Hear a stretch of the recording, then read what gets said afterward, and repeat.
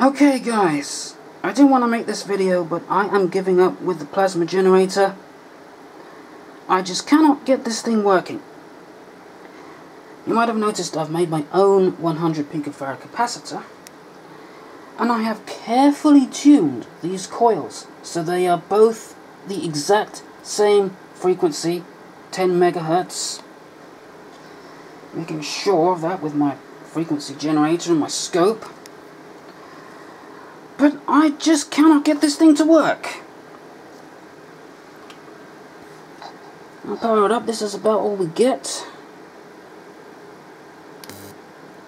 That's certainly no plasma flame.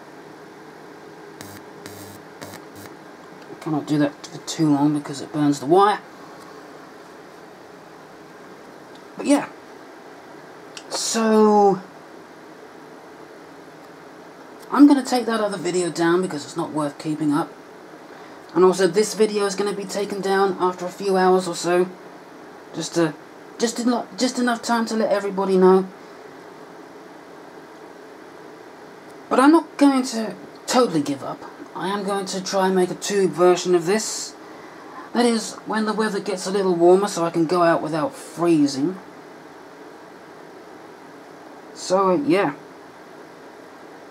Um, I guess that's it.